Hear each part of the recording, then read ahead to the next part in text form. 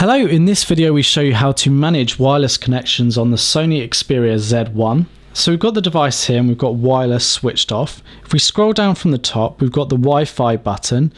It's currently greyed out, but if we tap on it, it will change colour and switch wireless on. It will then try to connect to a wireless network if we have one in range. Now sometimes it'll actually pop up with a box on screen where we can connect to the wireless network, or as we can see here, we've actually got a little notification come up which we can click into.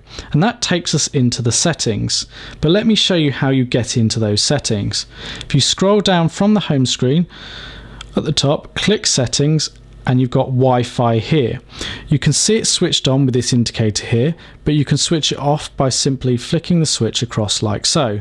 Switch it on again by flicking back across.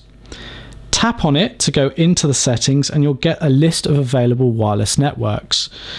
Those with no security on it will show no padlock. Those with security will require a password to be entered. Now we haven't previously connected to a network here before, so we want to connect to this one. So I tap on it and it's asked us to enter the password because it's got security. So I'm going to enter the password. And if I've entered the correct number of characters, it will give me the option to connect. So I click connect and it will now go off and communicate with that network. And you'll see that it's obtaining an IP address and is connected. And I can now browse the internet using that wireless connection.